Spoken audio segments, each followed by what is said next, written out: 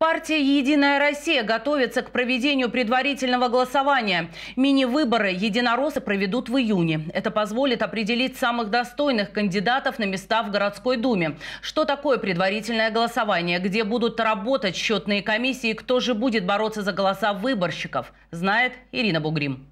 Предварительное голосование – это своего рода политическая игра. Ключевые игроки здесь – потенциальные кандидаты в депутаты. В сентябре жителям 4 и 8 многомандатных избирательных округов предстоит решить, кто будет представлять их интересы в городской думе. Предварительное голосование назначено на 3 июня. Счетные комиссии будут работать в Доме культуры Украина и пятой школе. Имеют право прийти проголосовать те люди, которые прописаны непосредственно на этом избирательном участке. Те, которые в сентябре будут голосовать уже на основных выборах.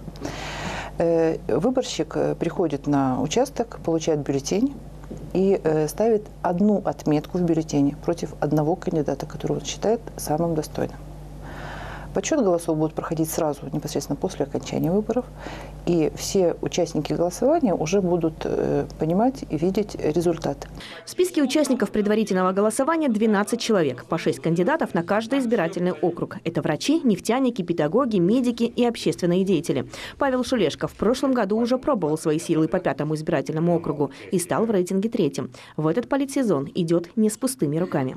Первое, на что хотел бы я обратить внимание, это на территории избирательного участка номер 4 э, три улицы Губкина, Ленина и Комсомольская, объединение собственников жилья, э, в, так скажем, в организованные группы, инициативные группы, которые будут участвовать сами непосредственно в благоустройстве своих двор, дворовых территорий.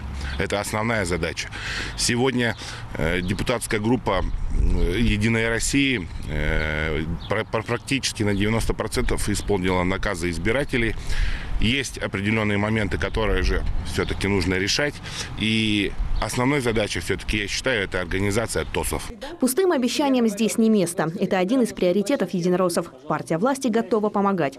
Здоровое питание, городская среда, культура малой родины. Проекты «Единой России» включают в себя ключевые аспекты указов президента страны. На сегодняшнем этапе, конечно, важны партийные проекты и знания городской жизни. Вот, по моему мнению, им надо пообщаться с жителями города – понять их чаяния.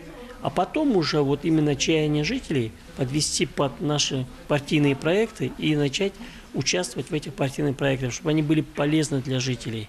Не просто узнать информацию для информации, а для того, чтобы для чего эта информация нужна. Депутат – это тот, который помогает людям в разных сферах, в разных моментах. Предварительное голосование в Муравленко пройдет по первой модели, то есть выборщикам не нужно заранее регистрироваться. Граждане, обладающие активным избирательным правом, получат бюллетень, лишь предоставив паспорт. Единороссы обещают учесть опыт прошлых лет и сделать процедуру еще более открытой. А поддержку от партии власти в сентябре получат лишь те кандидаты, которые займут в рейтинге высшую строчку. Ирина Бугрим, Сергей Шалафан, Владислав Дроботов. Новости Муравленко.